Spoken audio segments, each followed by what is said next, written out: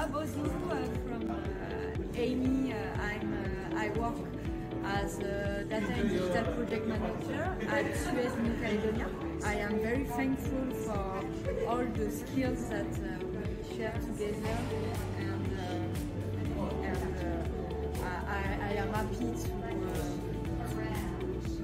to meet all the people from all the islands in the Pacific. Yorana Yorana everybody. I'm from Tahiti. My name is Tapu. Uh, French Polynesia. I'm a leak detection and investigation technician. We are all here to build our capacity to, to be better water professionals, to seek for a better future for our populations, the populations of the, the Pacific, but also for a better future for us as professionals.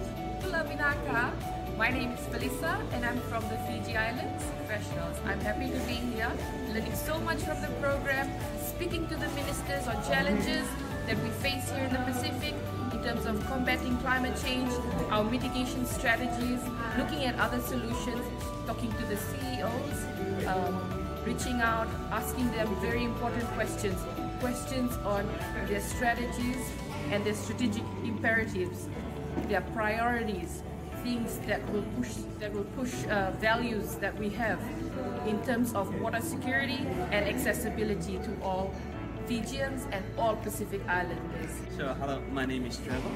Um, I came from the Solomon Islands. Um, I'm here with the Solomon Water team. I, I work as a capital works team leader in the Solomon Islands. Management skills and leadership skills. And I think that's what I learned so far. When I go back, I'll take with me the leadership management skills and I go and show it to my people back home